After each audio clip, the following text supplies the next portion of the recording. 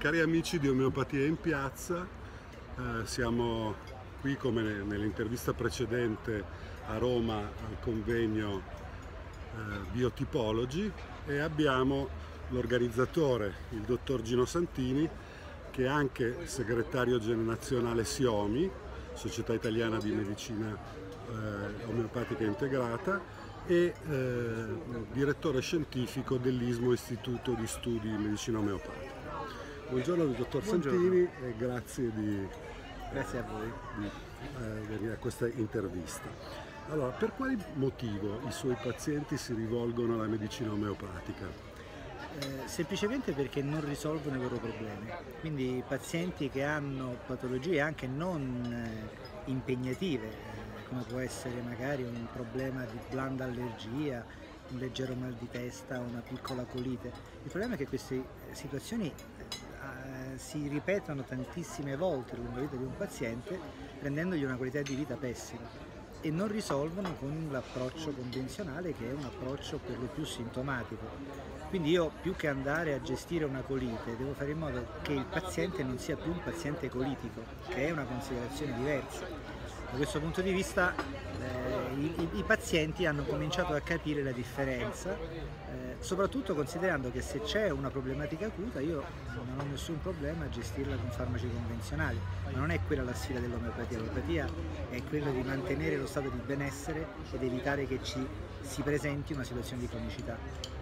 Grazie. Eh, possiamo affermare che l'approccio omeopatico sia sicuro e privo di effetti collaterali? Sì e no, nel senso mh, sicuro inteso come mancanza di effetti collaterali classici della medicina convenzionale, credo di sì perché ci spostiamo in una situazione eh, ultraponderale, quindi le ultradosi non hanno più molecole, quindi non c'è più la necessità che ha l'organismo di andare a gestire un'interazione molecolare. Però non è detto che non ci siano effetti collaterali in senso stretto. Gli aggravamenti omeopatici sono quando noi indoviniamo magari il rimedio giusto ma lo diamo ad una potenza sbagliata e quindi operiamo nella maniera non corretta creando un problema al paziente che vede una recrudescenza dei propri sintomi.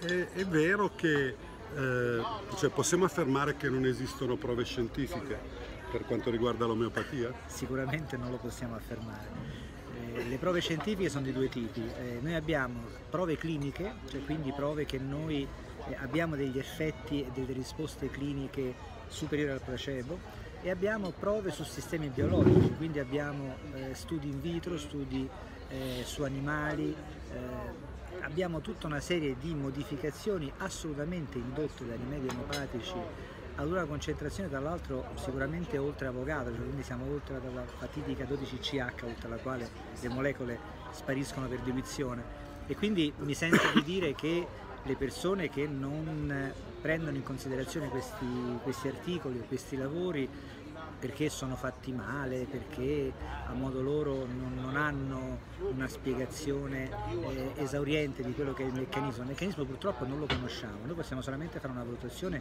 su quello che accade eh, per esempio in uno studio con doppio cieco, quindi versus placebo, quindi mettendo a confronto due soluzioni, una totalmente inerte e una con una soluzione omeopatica.